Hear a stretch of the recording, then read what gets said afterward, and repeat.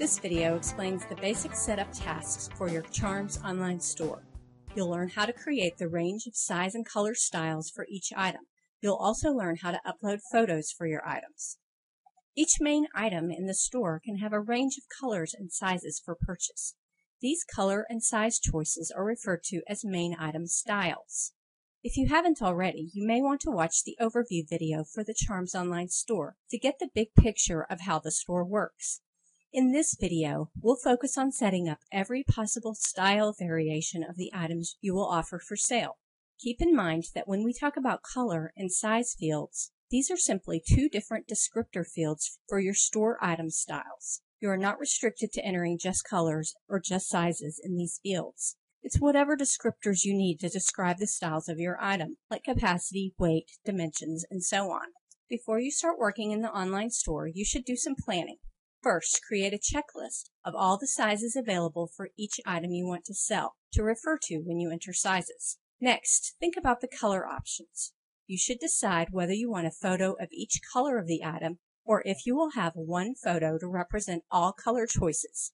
If you want to have multiple photos, you will actually make each color of the item its own main item listing in the Charms online store.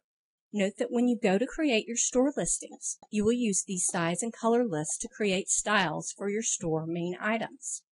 Third, make sure that you have photos you want to use in the store available on your computer for upload. Photo sizes less than 1 megabyte are recommended.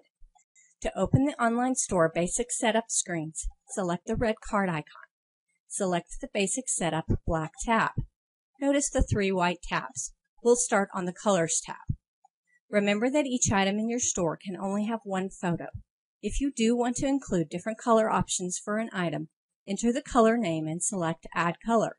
You can use color or pattern descriptors like stripes, plaid, solids, and so on. Whatever descriptors you need for your items. You'll want to enter the colors and or patterns to cover all of the items and styles you plan to sell in your Charms online store. Notice the list at the bottom. All of the colors you have entered are listed.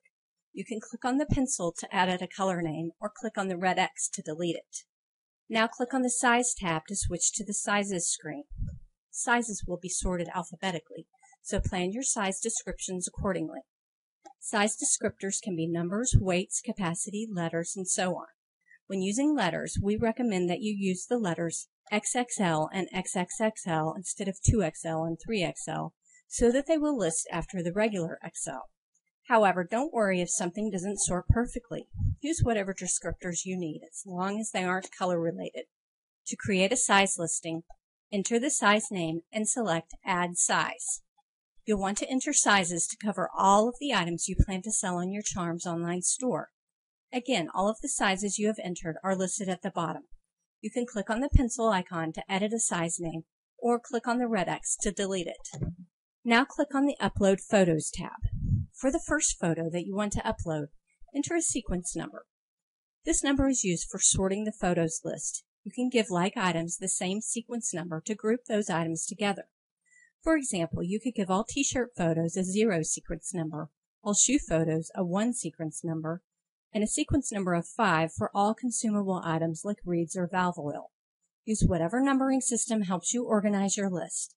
You'll be able to modify them later if necessary. Next, click on Browse. Find the desired photo on your computer.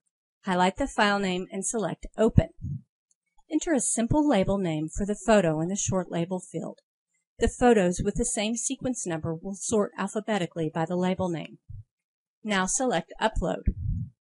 The photos are listed at the bottom of the screen. If you have uploaded several photos, you may have more than one page. Click on the numbers to switch to a different page in your photo list.